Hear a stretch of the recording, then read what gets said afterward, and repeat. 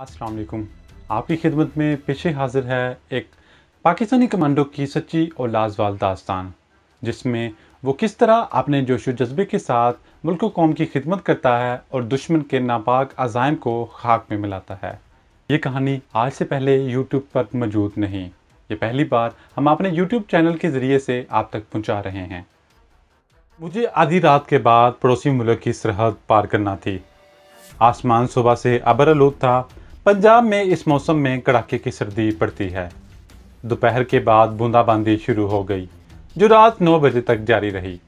ٹیلی vision کی پیش گوئی تھی کہ رات کو پھر بارش ہوگی۔ میرے خیال میں یہ بڑا ہی خراب موسم تھا۔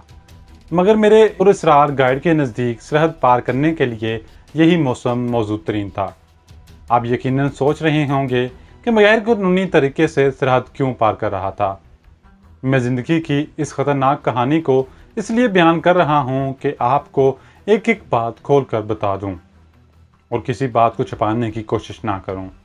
لیکن ایک بات میں شروع سے ہی واضح کر دینا چاہتا ہوں کہ میں اپنا نام ہرگز نہیں بتاؤں گا۔ جاسوسی، فرار جان لیوا مصائب اور سنسنی خیز واقعات سے لبریز، جرات و بہادری اور اپنے وطن کے لیے جان تک قربان کر دینے کے جذبے کی اس اچھی کہانی کو میں آپ تک پہنچا رہا ہوں۔ میرا نام راز میں رکھا جائے گا۔ اور باقی کی کہانی آپ تک لفظ بہ لفظ پہنچاتا رہوں گا۔ مگر میرے نام کے بغیر کام نہیں چلے گا، اس لیے میں اپنا ایک فرضی نام رکھ رہا ہوں اور یہ نام ہے عامر۔ قومی جذبے سے سرشار میری اس سنسنی خیز کہانی کا آغاز انیس سو پینسٹھ کی پاک بھارت جنگ کے بعد اور سکوتے ڈھاکہ سے کچھ پہلے ہوتا ہے۔ اس جنگ نے میرے دل میں ایک نیا ولولا پیدا کر دیا تھا۔ ہر وقت یہی دن سوار رہتی کہ اپنے وطن عزیز کے لیے کوئی ایسا کام کر دوں کہ دشمن کو دوبارہ ہماری طرف میلی نگاہ سے دیکھنے کی ہمت نہ ہو۔ میں نے فوج میں کمیشن حاصل کرنے کی کوشش کی، مگر بعض ناگزیر گھریلو وجوہات کی بنا پر میں فوج میں کمیشن نہ لے سکا۔ آگے پڑھائی جاری رکھنے کو جی نہیں چاہتا تھا۔ کالجوں کے غیر یقینی حالات سے دل اکتا گیا تھا۔ مجھے زبان سیکھنے کا شوق شروع سے ہی تھا۔ فارسی میں نے اپنے ایک خاص استاد سے پڑھی تھی، تھوڑی بہت عربی بھی ان سے سیکھ لی تھی۔ انگریزی کے علاوہ میں نے قدیمی ہندوستان کی تاریخ کا بھی بھرپور مطالعہ کیا۔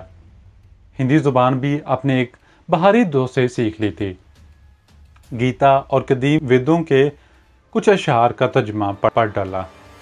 یہ میں محض اپنے شوق کی خاطر کر رہا تھا، مگر آگے چل کر اس علم نے مجھے بہت فائدہ پہنچایا۔ بلکہ کئی مقامات پر میری جان بھی بچائی۔ میں نے کالج کے زمانے میں وجہاد فورس میں شامل ہو کر باقاعدہ تربیت حاصل کی تھی۔ تھوڑی بہت کمانڈو ٹریننگ بھی حاصل کر لی تھی۔ دوسری جنگ عظیم میں ملٹری انٹیلیجنس کے حیرت انگیز کارنامے پڑھ پڑھ کر میرے دل میں امنگ پیدا ہو چکی تھی کہ موقع ملے تو میں بھی اپنے وطن کے لیے کوئی کارنامہ سر انجام دے سکوں۔ سن انیس سو اکہتر کی جنگ سے پہلے بھارت نے اپنے گریلے مشرقی پاکستان بیچ کر وہاں کے حالات کو مختوش بنانا شروع کر دیا تھا۔ مغربی پاکستان کی سرحدوں کے ساتھ ساتھ بھی وہ اپنی فوجی طاقت میں اضافہ کر رہا تھا۔ دشمن کے ناپاک عزائم دیکھ دیکھ کر میرا دل کرتا رہا، مگر میں کچھ نہیں کر سکتا تھا۔ اگرچہ ہماری فوج کے جان باز پوری طرح چوکس تھے اور دشمن کے ہر حملے کا منہ توڑ جواب دینے کے لیے ہر لمحے تیار تھے۔ لیکن میں بھی اپنے طور پر کچھ کرنا چاہتا تھا۔ میرا رجحان فوجی سراغ رسانی کی طرف تھا۔ دوسری عالمی جنگ کے مشہور فوجی جسوسوں کے کارنامے پڑھ پڑھ کر میں بہت تاک ہو گیا تھا۔ ہر وقت اسی ادھیڑ بن میں رہتا تھا کہ رضاکار کمانڈو کی حیثیت سے دشمن کے موچوں کے عقب میں جا کر اسے ضرب کاری لگاؤں۔ مگر یہ اتنا آسان کام نہیں تھا۔ پہلی بات تو یہ تھی کہ مجھے ایک غیر فوجی ہونے کی حیثیت سے معلوم نہیں تھا کہ دشمن اپنی سرحدوں کے عقب میں کس کس مقام پر فوج جمع کر رکھی ہے۔ دوسری مشکل بھارت کی سرحد کو پار کرنے کی تھی۔ میرے والد صاحب اپنی جوانی کے زمانے میں پورے ہندوستان کی سیاست کر چکے تھے۔ انہوں نے پشاور سے لے کر راس کماری تک اور اڑسیا کٹک سے لے کر بمبئی تک کئی بار سفر کیا تھا۔ وہ مجھے اپنے اس سفر کی دلچسپ کہانیاں سنایا کرتے تھے۔ اور ان کے، ان سفر ناموں سے مجھے بھارت کے بارے میں کافی معلومات حاصل ہو گئی تھیں۔ کیا میں پاکستان کے بعد میں بھی دو چار مرتبہ امرتسر، دہلی، ممبئی اور کلکتہ کی سیر کر چکا تھا۔ میرے والد صاحب امرتسر کے رہنے والے تھے اور قیام پاکستان کے بعد ہجرت کر کے لاہور آ گئے تھے۔ امرتسر پٹھان کوٹ چمبا اور ہوشیار پور کے بارے میں انہوں نے مجھے بہت کچھ بتایا تھا۔ وہ مجھے اپنے سفر کی دلچسپ کہانیاں سناتے اور میں ان معلومات کو اپنے لاشعور میں جمع کرتا جاتا تھا۔ سن انیس سو اکہتر کے ابتدائی ایام میں جب دشمن نے مشرقی پاکستان میں اپنے تقریب کاروں کے ذریعے انتشار کی مہم شروع کی اور مغربی پاکستان کی سرحدوں پر بھی اپنی فوجی طاقت میں اضافہ کیا تو میں نے دل ہی دل میں کسی مہم پر نکلنے کے بارے میں سنجیدگی سے غور کرنا شروع کر دیا۔ مجاہد فورس میں رہنے کی وجہ سے میری فوجی معلومات میں کافی اضافہ ہوا تھا اور ایک کیپٹن صاحب سے دوستی بھی ہو گئی تھی۔ میں نے باتوں ہی باتوں میں ان سے کرید کرید کر یہ معلوم کیا کہ دشمن نے پاکستانی سرحد سے دور پٹھان کوٹ کے چھاؤنی کے قریب پہاڑوں میں ایک ایسی توپ نصب کر رکھی ہے کہ جنگ کی صورت میں اس نے انتہائی تیز رفتار اور پانچ پانچ من بارود کے حامل گولے لاہور شہر میں آ کر پھٹیں گے، جو بے پناہ تباہی پھیلا سکتے تھے۔ میں پہلے ہی قومی جذبے سے سرشار تھا۔ دشمن کے ان عزائم کی خبر ہوئی تو میرا خون کھول اٹھا۔ میں نے اس لمحے فیصلہ کر لیا کہ اس توپ کو تباہ کر کے ہی دم لوں گا۔ اس وقت یہ فیصلہ بڑا بچگانا لگتا تھا۔ بلا، ایک غیر فوجی جوان دشمن کی سرحد پار کر کے دشمن کی چھاونی میں پہنچ کر ایک ایسی جدید ترین اور ہری بھر کم توپ کو کیسے تباہ کر سکتا ہے؟ جس کی حفاظت کے لیے نہ جانے کیسے کیسے جان لیوا انتظامات کیے ہوں گے۔ اس کے باوجود میں فیصلہ کر چکا تھا۔ میرا یہ فیصلہ میری ایک طویل اور خطرناک ترین مہم کا آغاز تھا، جس میں قدم قدم پر مجھے موت کا سامنا کرنا پڑا۔ آپ بعد میں خود ہی پڑھ لیں گے۔ میں اپنے ذرائع سے جس قدر بھی معلومات حاصل کر سکتا تھا حاصل کر لیں۔ امرتسر سے پٹھان کوٹ تک میں دو بار سفر کر چکا تھا۔ پھر بھی میں نے اس سفر کی تمام یادداشتوں کو اپنے ذہن میں ایک بار پھر تازہ کیا۔ سب سے پہلے، سب سے بڑا مسئلہ پاک بھارت سرحد عبور کرنے اور مالی ضروریات کو پورا کرنے کا تھا۔ میں اس مسئلے کو حل کرنے کی دن میں لگ گیا۔ اس سلسلے میں میری ملاقات سمگلروں کے ایک گروہ سے ہو گئی۔ ان دنوں اس گروہ کے آدھے آدمی مر چکے تھے اور باقی جیل میں سزا بھگت رہے ہیں۔ لیکن میں ان کا شکر گزار ہوں۔ اگر یہ لوگ میری مدد نہ کرتے تو میں اپنے عزائم میں کبھی کامیاب نہ ہوتا۔ اگرچہ میری مدد کرنے میں سراسر ان کے مفادات ملوث تھے، تاہم ان کے تعاون سے سرحد پار کر گیا اور میری کچھ مالی امداد بھی ہو گئی۔ میں سمگلروں کے اس گروہ کے بارے میں کچھ نہیں بتاؤں گا، کیونکہ اب اس کی ضرورت بھی نہیں رہی۔ سمگلروں کا یہ خطرناک گروہ سرحد پار سمگلنگ میں بے حد سرگرم تھا اور ان کا مشرقی پنجاب کے سکھوں سے باقاعدہ رابطہ تھا۔ اس گروہ کا ایک خاص آدمی جو مسلمان تھا، امرتسر میں مقیم تھا، جو اسمگلنگ کے ناپاک کاروبار کی سرحد پار نگرانی کرتا تھا۔ اس کا نام آج تک مجھے معلوم نہیں ہو سکا۔ اسے گروہ کے لوگ کرونڈیا کے نام سے یاد کرتے تھے۔ کرونڈیا، پنجاب میں ایک سانپ ہوتا ہے، جو بنجر زمینوں میں پایا جاتا ہے اور اس قدر زہریلا ہوتا ہے کہ آدمی کو ڈستے ہی وہ پرے ہٹ جاتا ہے تاکہ آدمی اس کے اوپر نہ گر پڑے۔ اس کی وجہ یہ ہے کہ اس کے ڈستے ہی آدمی مر جاتا ہے۔ گوال منڈی میں الف کے ایک بدماش سے میری واقفیت تھی۔ یہ آدمی اس گروہ کو جانتا تھا۔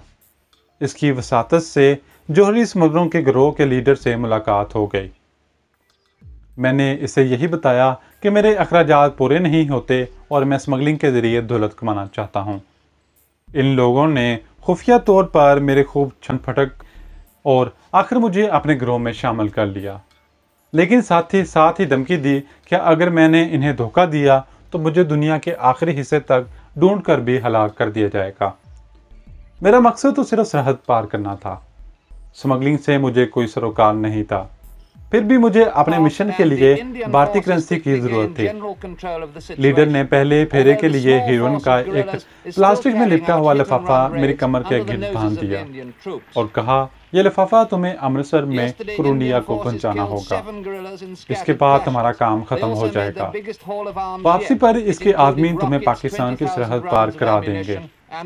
یہاں آنے کے بعد تمہیں اس پیدے کی اجرت دس ہزار پہ ادا کر دی جائے گی۔ میں نے لیڈر سے پوچھا کہ کیا مجھے ہندوستان میں کچھ روپے ادا نہیں کیے جا سکتے؟ کیونکہ میں وہاں سے اپنی پسند کی کچھ چیزیں لانا چاہتا ہوں۔ تمہیں اس کی اجازت نہیں دی جا سکتی۔ تم ہمارا پھیرا لگانے جاؤ گے میلہ دیکھنے نہیں۔ امرتسر کے بازاروں میں گھومنے پھرنے کی کوشش بھی نہ کرنا، لیڈر نے کہا۔ میں خاموش ہو گیا، لیکن دل میں ایک منصوبہ میں نے اس وقت تیار کر لیا تھا۔ مجھے آدھی رات کو ایک خاص مقام پر پہنچنے کی ہدایت کی گئی۔ ہیرون کی تھیلی میرے کمر سے بندھی ہوئی تھی۔ میں رکشے میں اپنے گھر سے واہگہ کی طرف روانہ ہو گیا۔ میں نے گھر میں کسی کو نہیں بتایا تھا۔ آسمان صبح ہی سے بادلوں میں گرا ہوا تھا، کڑاکے کی سردی پڑ رہی تھی۔ سپہر کی ہلکی ہلکی بوندا باندی رات نو بجے تک جاری رہی، جس کی وجہ سے سردی میں خاصا اضافہ ہو گیا تھا۔ شالامار ٹاؤن سے دو فرلنگ دور بائیں جانب میں رکشے سے اتر گیا اور اندھیرے کھیتوں میں سے گزرتا ہوا ایک ویران سے کوارٹر میں آ گیا۔ یہاں دو آدمی انگیٹھی جلائے آگ تاپ رہے تھے۔ چار پہی پر لحاظ پڑا تھا، میرا ان دونوں سے تعارف ہو چکا تھا۔ انہوں نے کیتری سے چائے پیلی میں ڈال کر مجھے دی۔ یہ بڑے خرانٹ قسم کے سمگلر تھے۔ اور میری طرف دیکھ کر مسکرا رہے تھے۔ باؤ، یہ کوٹ پتلون تبدیل کر لو۔ میں چونک پڑا، کیا مطلب ہے تمہارا؟ ایک سمگلر ہنس کر بولا، نئے نئے برتی ہوئے ہو، دو چار پھیرے لگاؤ گے تو سب کچھ معلوم ہو جائے گا۔ پچھلی کوٹری میں جاؤ، وہاں دھوتی، کھدر کی کمیر اور کمبر رکھا ہے۔ وہ جا کر پہن لو۔ میں چپکے سے اٹھ کر پچھلی کوٹھی میں آ گیا، جہاں تاک میں ایک موم بتی روشن تھی۔ دیوار کے ساتھ چارپائی بچھی ہوئی تھی، جس پر نسواری رنگ کا ایک کمبر مٹیالے رنگ کی کھدر کا ایک کرتا اور کھدر کی دھوتی پڑی تھی۔ میں نے یہ دیہاتی لباس پہن لیا۔ بوٹ اتار کر دیہاتی وضاح کی جوتی پہنی اور کمبل اوڑھ کر سمگلوں کے پاس واپس آ گیا۔ وہ میری طرف دیکھ کر مزاق کے انداز میں ہنسنے لگے۔ اب آئے ہو تم اصلی جون میں۔ بیٹھو یہاں۔ میں خاموشی سے انگیٹھی کے پاس بیٹھ گیا اور چائے پینے لگا۔ ایک سمگلر سگریٹ سلگا کر بولا، سودا کہاں ہے؟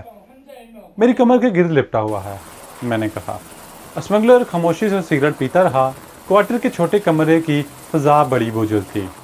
ایک سمگلر نے دوسرے کو آنکھوں ہی آنکھوں میں کچھ اشارہ کیا۔ وہ اٹھ کر کوٹری میں چلا گیا۔ واپس آیا تو اس کے ہاتھ میں ایک ریوالور تھا۔ میں کام کیا۔ اس نے انگیٹھی کے پاس بیٹھتے ہوئے ریوالور میری طرف بڑھا کر کہا، اسے اپنے پاس چھپا کر رکھنا۔ اگر کوئی گڑبڑ ہو گئی تو اس میں سات گولیاں بری ہوئی ہیں۔ میں نے ریوالور لے کر تحمد کی ڈرم میں لپیٹ کر رکھ لیا۔ انہوں نے مجھے سگریٹ پینے کو دیا۔